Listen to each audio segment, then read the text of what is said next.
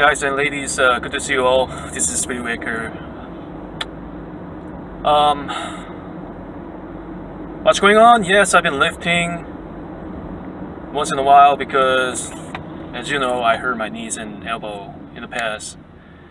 And as you saw from this previous video, from this intro, uh, I lifted um, 165 pounds.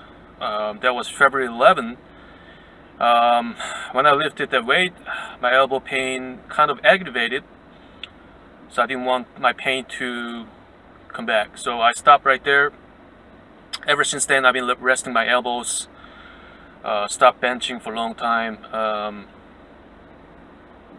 uh, and I came back to benching again probably two weeks before. And I'm trying to lift something not heavier than 130 pounds. I'm trying to stay something light, um, and that, that's kind of helping me a lot for healing process. I mean, it's, it's already healed, I believe, but I'm just trying to be careful because I, I don't want to aggravate the pain. So that's that. And my goodness is my knee.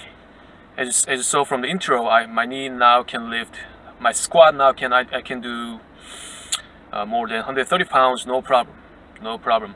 But I can certainly feel the my knee is different from past. My knee is it feels like my knee is damaged. Uh, it doesn't hurt, but it, it doesn't feel the same as before.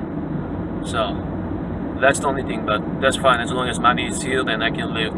That's fine. Um, as for the plan for lifting, uh, I'm gonna stick to bodybuilding. Um, I'm not going to do a powerlifting probably for another maybe quarter, uh, three to four months, because I think right now I have to be really careful. I know my injuries, it's been a long time, but I have to build more muscles and work on the weak, weak spots. Um, I'm not going to start powerlifting uh, anytime soon, and I learned the lesson. I learned the lesson.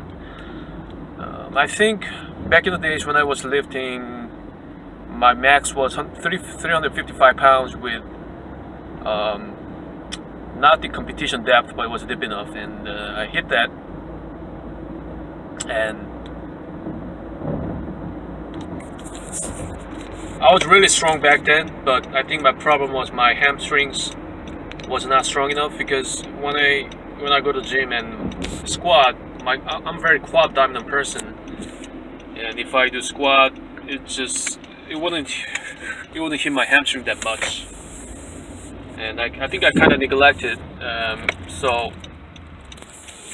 from now on if I do squat or leg days I'm going to hit the uh, hamstring machine. I think the, I get the most hamstring works out out of the hamstring machine not from the squat.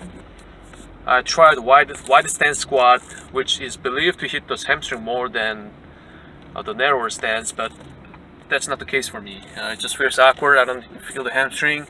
So rather do hamstring curls machine, and I think that's really helps for me. Uh, so,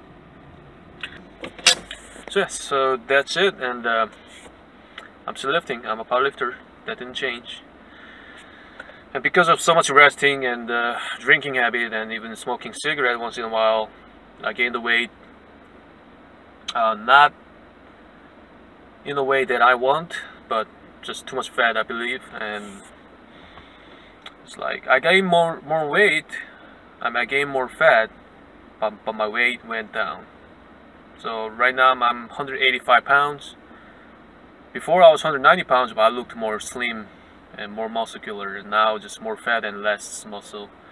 Anyway, so yeah, thank you for watching, and uh, hopefully I'm gonna make more footages on training uh, which is bodybuilding and I used to be bodybuilder so I know what to do and hope that uh, can contribute to your knowledge I guess. Alright thank you. Peace out